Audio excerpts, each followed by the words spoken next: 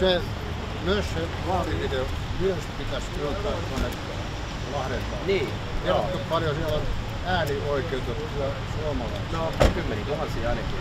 750 Ai se, 000. olisiko niin paljon? Joo.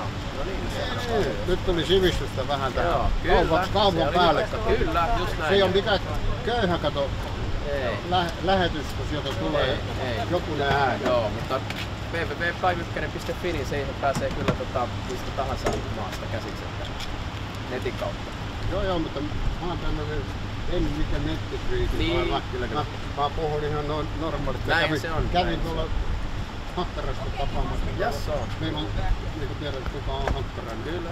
Niin, niin meillä on samanlainen bisnes. tuoda- Tuodaan Venäjältä puuta, rakennetaan. Virossa suomalaisen työvoimalla Joo. ja myydään ne nurin. Joo, joo, mä tulin just tuota 20 minuuttia sitten Pietarista, oli siellä pari päivää Mikelan asuinsatamassa. Sitten just UPM Juvosen kanssa istuin vierekkäin tuossa ja Siellä on Pietarin, Pietarin yrityksen Venäjän kauppaa noin 2,5 miljardia Mm. vuodessa.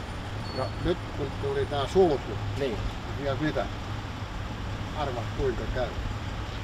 Pankit Niin. sanoo mun kaikki Mm. tilipirkut, mikä mm, mm. mm.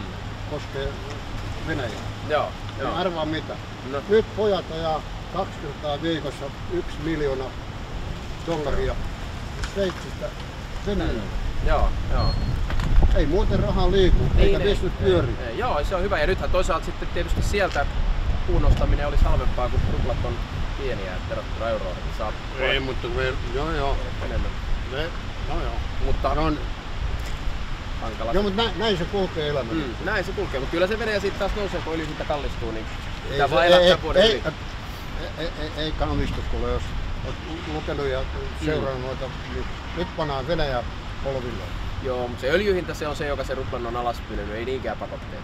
Et pakotteet tietysti vaikuttaa myös siihen, että ei ole rahoitusta, pankit ei pysty investoimaan, mutta kyllä se pääongelma on akuutisti, se on öljyhinta, sen takia rupla on alhaalla. Jos öljyhinta nousee sataseen, niin mutta kun se ei nouse, se ei nouse. No, pää- siellä vähän isommat herrat, kato päättää